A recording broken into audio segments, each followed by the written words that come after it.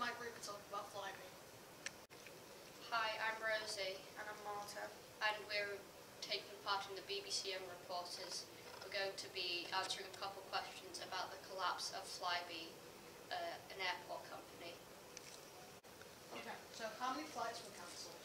Sources say that around 1,700 were cancelled. And how many jobs were then lost? Apparently 2,000 jobs were lost. Were people stranded? From the sources we know, some of a lot, a lot of the people were stranded, so they had to get another flight to their country of homes. How has this affected the passengers? From one of the passengers, we know that he came to the airport and found out that his his flight was cancelled. He's supposed to go to Paris to his wife for a Christmas present, but sadly, he was shocked and sad from, from the thing that happened. And on, from the Sport Academy teacher, we know that she had a flight and it was also cancelled, so she had to get another flight, which cost her two, 200 pounds more.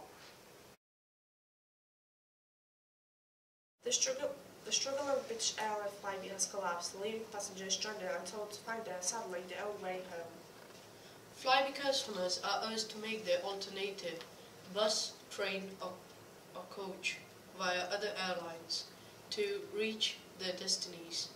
Flybe has major presence air, air, at airports such as Aberdeen, Belfast City, Manchester and Southampton and flies some 9 million people around the continent.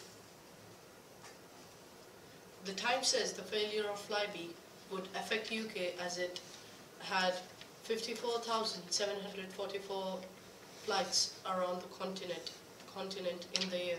Flybe's network included more than half of the British domestic network. In the airline was also struggling to pay the airline passenger duty known as APD, tax of flight. It is the second UK-based airline in six months to fail after Thomas Cook went bust in September. On the other side, it's a big loss of country, but on the other hand, it's opportunity for small flights com- companies to go big. There was lost about two- 29 billion pounds because of the cancelling the airports. Flybe is a large airline serving 57 airports. Thank you.